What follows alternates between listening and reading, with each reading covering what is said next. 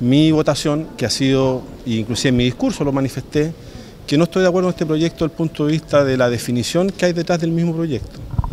Y por tanto, para mí, por coherencia respecto de lo que pienso, respetando quienes piensen distinto, y en eso, y eso por supuesto que así tiene que ser.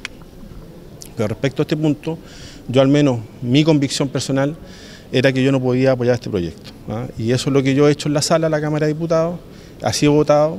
Y respecto de la norma de quórum, la verdad es cosa que me tuve que abstener porque no, no pude llegar a una convicción para poder apoyarlo o rechazarlo.